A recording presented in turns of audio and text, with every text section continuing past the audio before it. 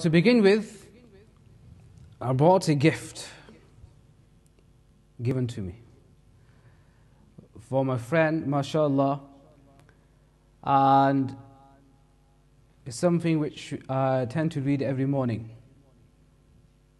It's a hadith of Prophet sallallahu alaihi wasallam from the Shamail.